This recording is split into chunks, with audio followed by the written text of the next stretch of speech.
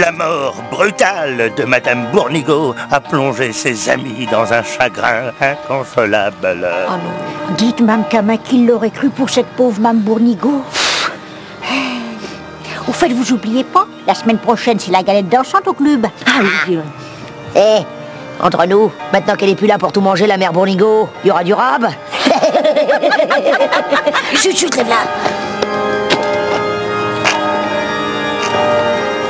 Le veuf, Monsieur Bournigo, très digne dans son chagrin, est soutenu dans cette triste épreuve par sa fille, Mademoiselle Arlette, et son cousin, Marcel.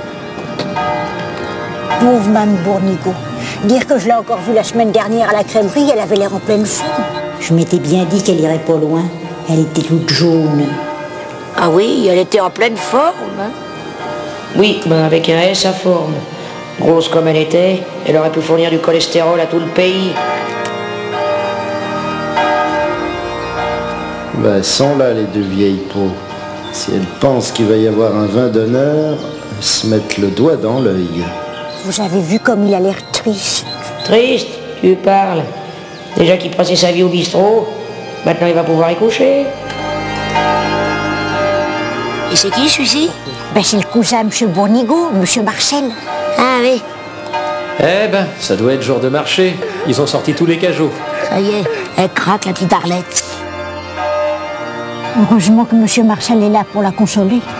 À consoler. Il a tripoté, oui.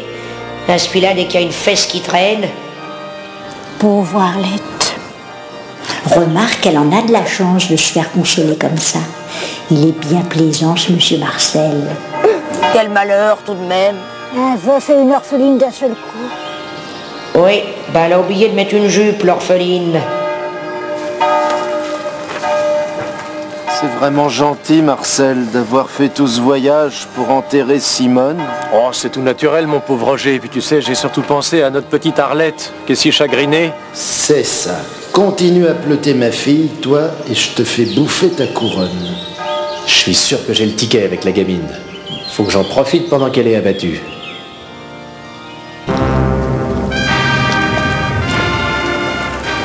Eh ben voilà, Simone, c'est ta dernière promenade. Profites-en, c'est un aller simple. Ben, il sait y faire avec les dames, monsieur Marcel. Faut que je me débrouille pour attirer son attention. On s'en va durer longtemps, cette affaire. À quelle heure qu'on va manger? Oh, dis donc, Simone, j'espère qu'on arrive bientôt. Aïe Ah J'ai mes corps aux pieds qui se réveillent. Tu m'auras pourri l'existence jusqu'au bout, hein, vieille vache. Vous avez vu, elle en a eu du monde, cette pauvre Mme Bournigo. Eh, ça va être à nous. Permettez-moi de vous présenter l'expression de mes plus sincères condoléances et veuillez agréer mes meilleurs sentiments suite à votre douloureuse épreuve. Oui, enfin, elle veut dire que on est bien peu de choses. Oh, bah voilà qu'elles font dans la littérature, Laurel et Hardy. Quelle perte si cruelle Eh oui, quel chagrin abominable. Eh oui, eh oui, eh oui, c'est terrible. Elles vont me lâcher, oui. Maintenant que l'autre grosse truite Simone est enfin dans le trou, je vais pas me laisser emmerder par ces deux ruines. À bientôt, monsieur Bournigo. Bah oui, venez nous voir au club. La vie continue. Il y a une galette dansante la semaine prochaine. Bon, je crois que j'aurai pas le cœur à ça, vous savez. Rêve toujours, mes mères. La semaine prochaine, chope dans un taxi et je vais aux putes. Je sais, je sais, c'est affreux, un drame épouvantable. C'est bien que vous soyez là pour consoler cette pauvre Arlette. Elle schlingue toujours autant le muguet, la pucelle. Quel bel homme Il sent bon en plus. Toutes mes condoléances amicales. Et si t'approches, je te colle mon sac à main sur ta tête de vicieux. Merci de tout cœur. Elle va me péter l'avant-bras, la brutasse. Si elle me serre encore, je lui tous à la gueule, moi. Allez, on vous laisse, monsieur Marcel. Et occupez-vous bien de cette pauvre petite Arlette. Je vois pas du tout ce qu'elle a de plus que moi, celle-là. Vous êtes formidable, Madame Rouleau, vous ne changez pas. Qu'est-ce qu'il a, le satire Là qui me sourit? Bon, il le veut toute, ma parole. Vous non plus, Marcel. Toujours aussi élégant. Venez donc prendre le thé un de ces jours. Avec plaisir, mesdames. À bientôt. C'est ça, bah oui. Tu peux m'attendre longtemps, moche thé. Tu peux te les bouffer toute seule, tes biscottes. Moi, je préfère le pain frais et la miche tiède.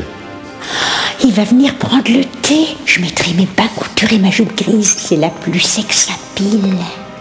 Ah, ça, il change pas, le Marcel. Toujours bête comme ses pieds et fadasse comme un yaourt. C'était bien. hein? Pas mal. Mais il y avait moins d'ambiance qu'à l'enterrement à Mme Girard. Il va se retrouver bien seul maintenant, monsieur Bournigo. Bah, remarquez, il refera peut-être sa vie. C'est vrai, ça.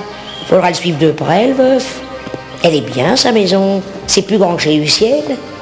En plus, mou comme il est, j'aurais pas de mal à le mener à la trique. Faudrait voir. Bon, qu'est-ce que je délire, moi? On sait ce qu'on perd, on sait pas ce qu'on retrouve. Je reste chez Lucienne, puis c'est tout. Je mange mal, mais je suis pas obligé de coucher avec.